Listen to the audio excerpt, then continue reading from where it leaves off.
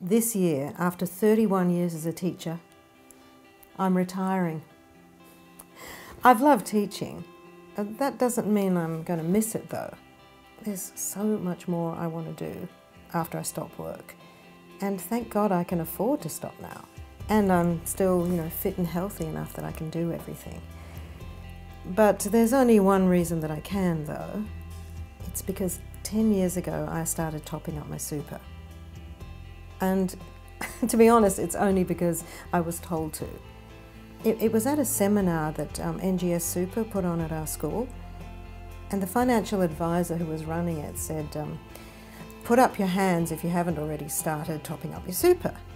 Well, just about everybody in the room put up their hands, me included.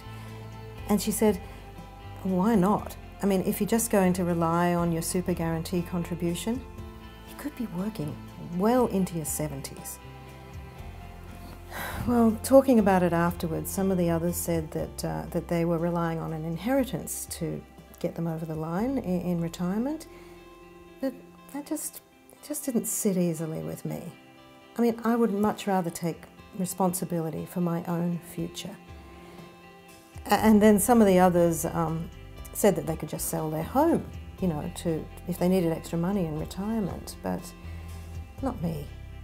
I'd much rather keep my home and maybe put it on Airbnb while I go travelling the world. so that's why I decided right then and there to start topping up my super. I walked straight down to HR and I asked them to start right then. $50 a week. They, they call it a salary sacrifice, but because it comes out of your pre-tax salary, but you know, it's not really a sacrifice at all.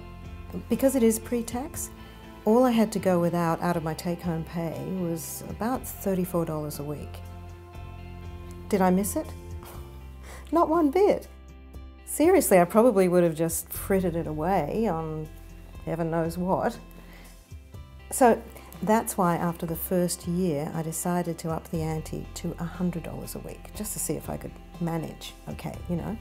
I mean, you can always cancel, right? Well, I still didn't miss it. And that means that after just 10 years, my little top up program has added almost $55,000 to my super. And that means now I can afford to, to travel overseas. It is so satisfying knowing that, that I thought ahead a little bit, took control of my life, you know? And now I can reap the rewards. After three decades of putting your heart and soul into something, that is such a great feeling.